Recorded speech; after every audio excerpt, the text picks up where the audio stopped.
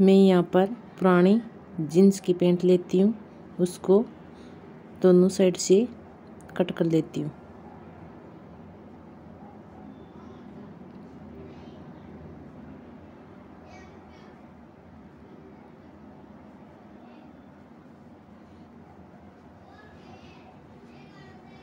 यहाँ से मैंने कट कर लिया है और इली साइड से भी में कट कर लेना है।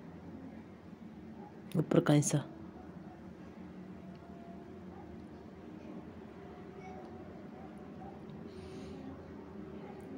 कट करने के बाद इसे भी हम कट करेंगे सिलाई को।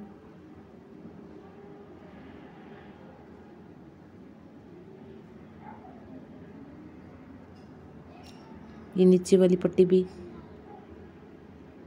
इसको भी कट करेंगे।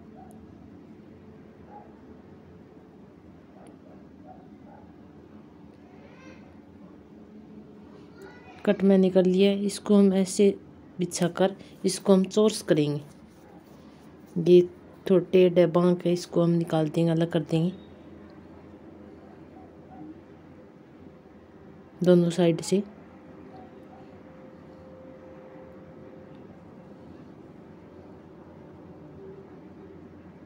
यहाँ पर दोनों साइड से कट कर लिया है।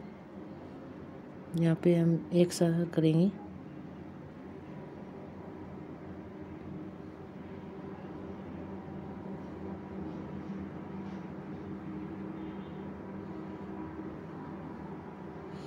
ये मैंने कट कर लिया है।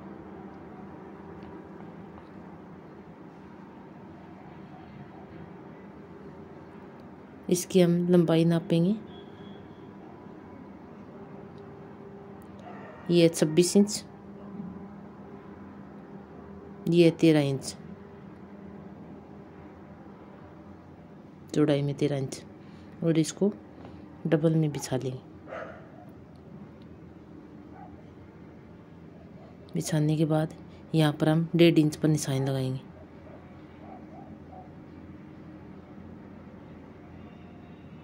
और यहाँ पर हम पौने दो इंच पर।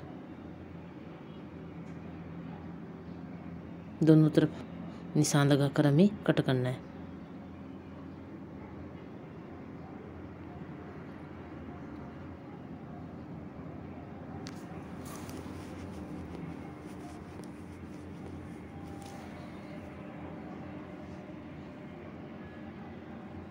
दोनों साइड हमने कट कर लिया है।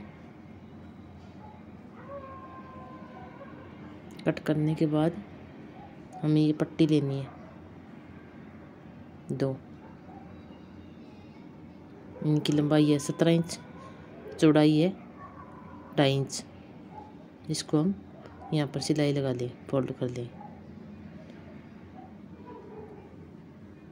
यहाँ से हम थोड़ा थोड़ा कपड़ा फोल्ड कर लें। मैंने फोल्ड कर लिया है। यहाँ पर हम साढ़े तीन इंच पर निशान लगाएँगे दोनों तरफ़। मैंने दोनों तरफ़ निशान लगाकर इसको, ये हमारी डस है, इसको हम ऐसे मेल कर यहाँ पर सिलाई लगा दें। दोनों तरफ़। यहाँ पर हम साढ़े तीन इंच पर निशान लगाएँगे, यहाँ पर भी।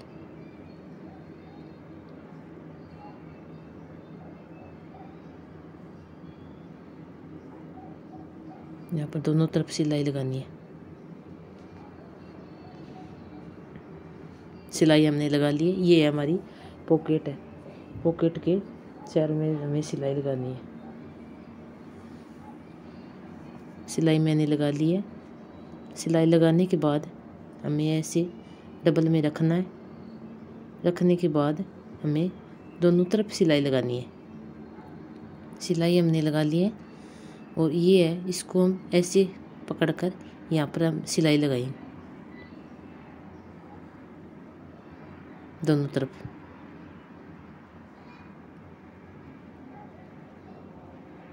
सिलाई लगा ली। सिलाई लगाने के बाद हम इसको पलटेंगे। हमारा बैग तैयार हो गया। है ये हमारी पॉकेट है।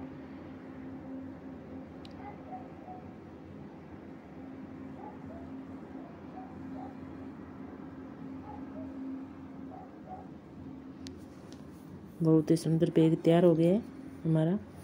और चैनल को लाइक और सब्सक्राइब करना।